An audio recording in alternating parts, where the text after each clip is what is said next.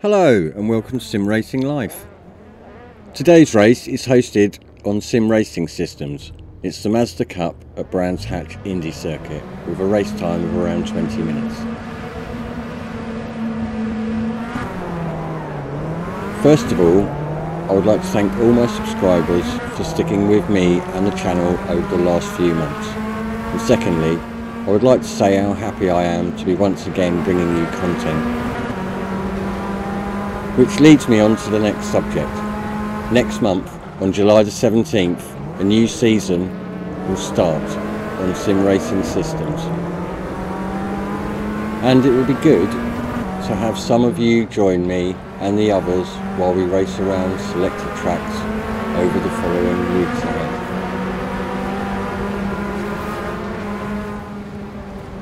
I shall be making another video shortly about how to sign up to Sim Racing Systems. If you haven't already done so, then stick around and I'll show you how to. And best of all, it's totally free.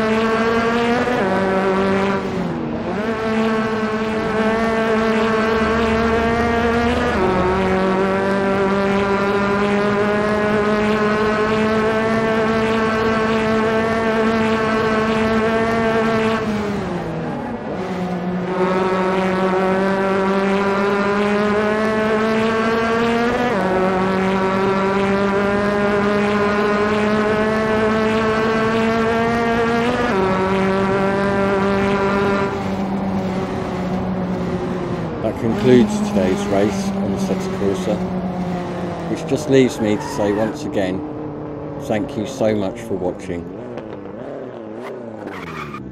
And please, if you want to see more, then please hit the like and subscribe button. Until the next time, bye for now.